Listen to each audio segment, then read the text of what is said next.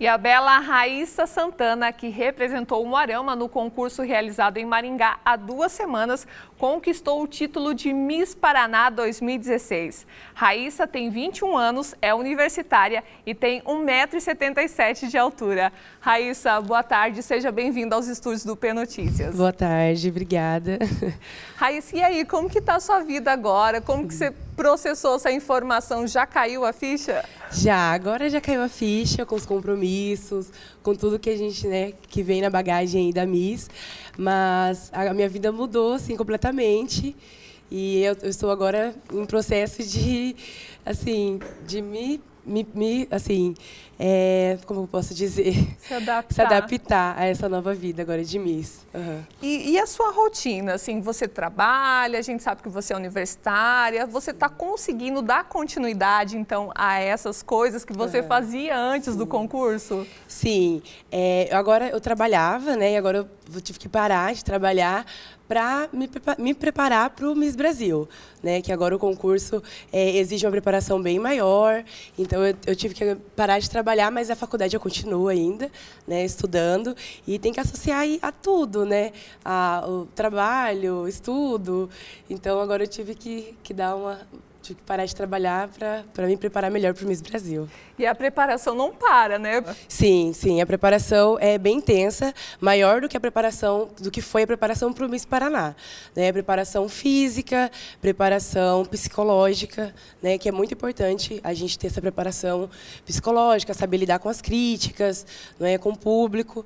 Então, assim, é, é uma preparação bem mais intensa para o Miss Brasil, que é um concurso né, muito grande e de uma grandiosidade enorme e eu quero estar muito bem preparada para representar muito bem o nosso Paraná no Miss Brasil. Tá certo. A gente sabe, falando aí de preparação, que é realmente uma dedicação muito grande, Sim. né, Raíssa? É.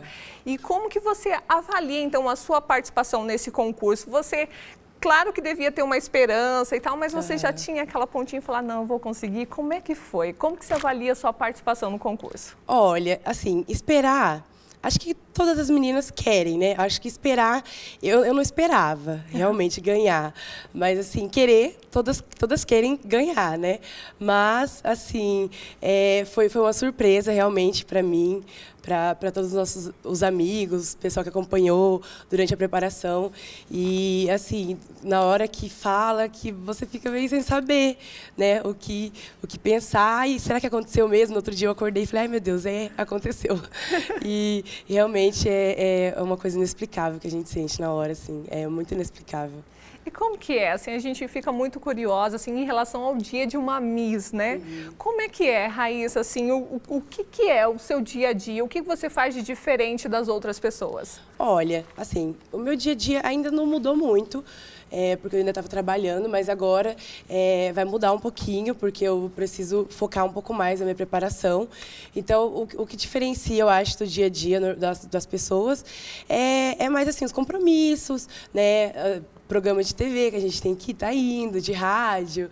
E, e, eu acho que é isso, a minha preparação vai, vai manter o que eu, que eu fazia antes, é, a preparação física, que eu acordava, ia correr, é, alimentação, né? E eu acho que é basicamente isso, não, não, não, diferencia muito não. Estávamos acompanhando há pouco aí as imagens de você é, numa carreata aqui pela Sim, cidade. Você imaginava, você já tinha essa ideia assim de passear pela cidade, em carro aberto, recebendo todo esse carinho que você Olha, está recebendo agora? Para mim, essa é a parte mais gratificante, que é o carinho do público, o carinho das pessoas é, é a parte assim que me deixa mais feliz de estar tá, assim de estar de, de tá batalhando mesmo para estar tá nesse que não é fácil né para estar tá nesse nesse mundo e, e, é a parte que mais me deixa feliz é a parte do público mesmo do carinho e eu não imaginava mesmo estar lá em cima do carro e fazer aquela passeata, né, que, que é de, de tradição já fazer. Então é, foi surreal para mim estar, tá, estar ali naquele momento. Você é muito jovem, né, Raíssa? 21 anos ainda, tem muita coisa aí pela frente. Sim. Você já trabalhava como modelo antes do concurso?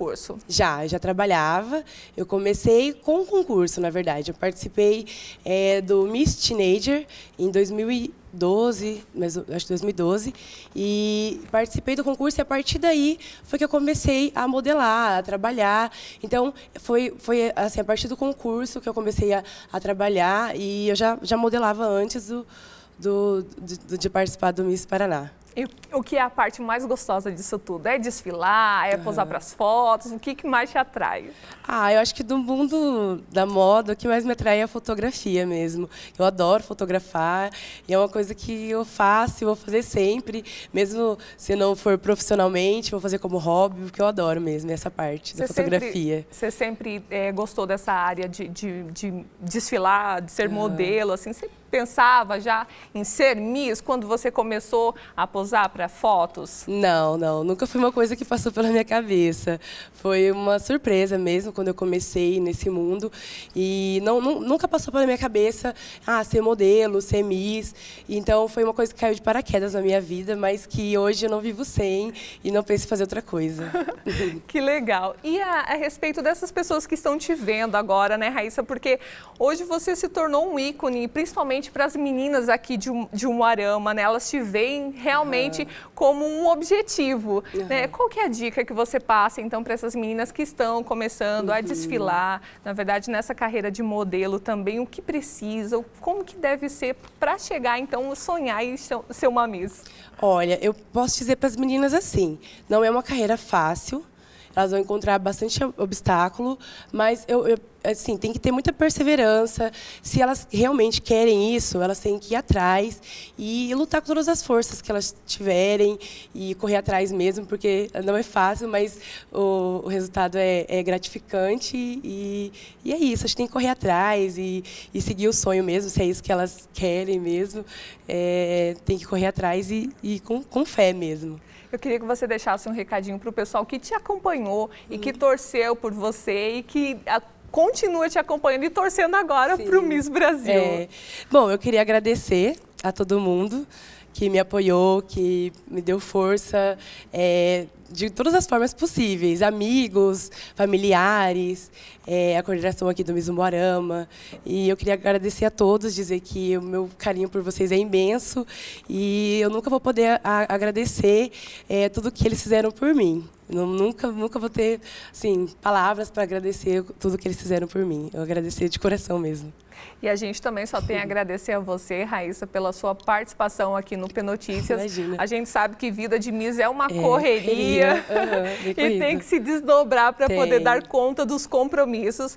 E a gente gostaria de te parabenizar mais uma vez e te, te desejar, então, boa sorte aí é, para o Miss, Miss Brasil. Brasil. Obrigada. Eu que agradeço, é uma honra estar aqui.